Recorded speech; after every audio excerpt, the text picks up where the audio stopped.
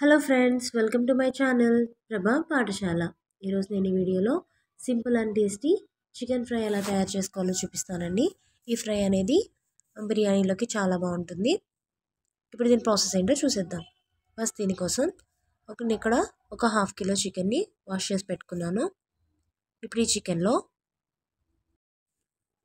Half spoon పసుపు అలాగే నేను ఇక్కడ వన్ స్పూన్ కారం వేస్తున్నాను. మీకు కారం ఎక్కువ కావాలనుకుంటే ఇంకాస్త ఎక్కువ యాడ్ చేసుకోవచ్చు. దీంట్లో ఒక వన్ స్పూన్ సాల్ట్ కూడా వేసుకోవాలి. అలాగే ఒక హాఫ్ స్పూన్ అల్లం వెల్లుల్లి పేస్ట్. ఒక టూ స్పూన్స్ ఆయిల్ కూడా వేసుకుంటున్నాను. ఇప్పుడు వీటన్నిటిని చికెన్కి బాగా పట్టించాలి.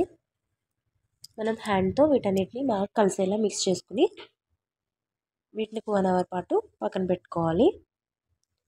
లేదు అనుకుంటే వీటిని ఒక వన్ అవర్ ఫ్రిడ్జ్లో పెట్టుకున్నా కూడా మనకి చికెన్ పీసెస్ అన్నీ బాగా మ్యాగ్నెట్ అవుతాయండి. మనం కుక్ చేసుకున్నప్పుడు చికెన్ మనకి చాలా జ్యూసీగా ఉంటుంది.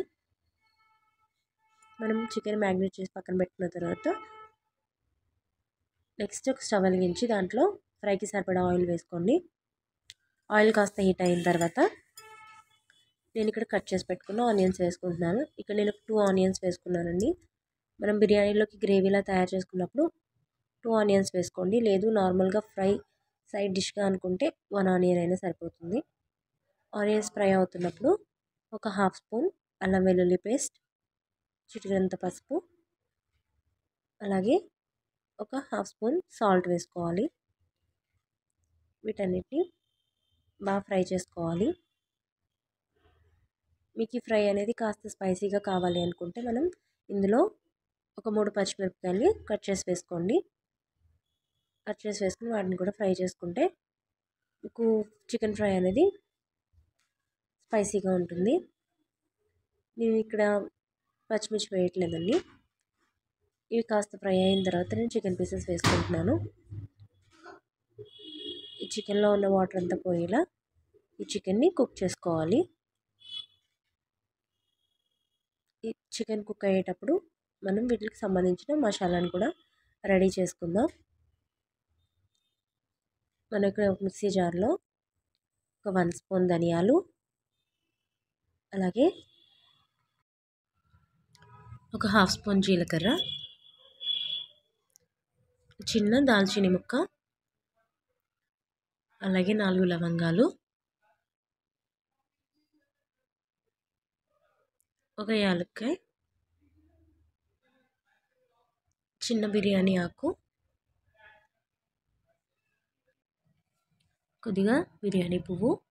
అలాగే ఒక పది జీడిపప్పు పలుకులు. అలాగే ఒక ఐదారు ఎండుమిర్చి వేసుకోండి. నేను ఇక్కడ ఎండుమిర్చి తక్కువ వేస్తున్నాను. మీరు మాత్రం ఒక ఫైవ్ సిక్స్ ఎండుమిర్చి యాడ్ చేసుకోండి. అప్పుడే మనకి మసాలా పౌడర్ అనేది రెడ్ కలర్లో. అలాగే మనకి చికెన్ ఫ్రై కూడా స్పైసీగా ఉంటుంది. ఇక్కడ నేను మా పాప కోసం తక్కువ యాడ్ చేస్తున్నాను. నెక్స్ట్ ఇక్కడ కుక్ అవుతున్న ఈ చికెన్లో కొద్దిగా పుదీనా అలాగే కొత్తిమీర కూడా వేసుకోవాలి. మీకు స్పైసీ కావాలనుకున్నవారు ఇప్పుడు ఒక నాలుగు పచ్చిమిరపకాయలు కట్ చేసి వేసుకోవచ్చు. నేను ఇక్కడ పచ్చిమిర్చి యాడ్ చేయట్లేదండి. మీకు కావాలంటే పచ్చిమిర్చి కూడా యాడ్ చేసుకోవచ్చు.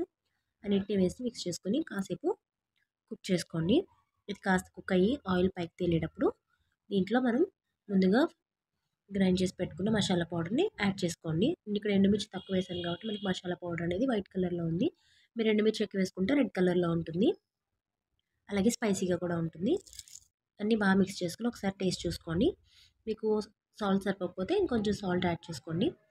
అన్నిటిని బాగా మిక్స్ చేసి ఫ్రై చేసుకున్న తర్వాత దీంట్లో కొద్దిగా కొత్తిమీర మీకు కావాలంటే కరివేపాకు కూడా వేసుకుని ఫ్రై చేసుకోవాలి. అంతే అండి. Tasty and simple chicken fry ready అయింది. Thanks for watching.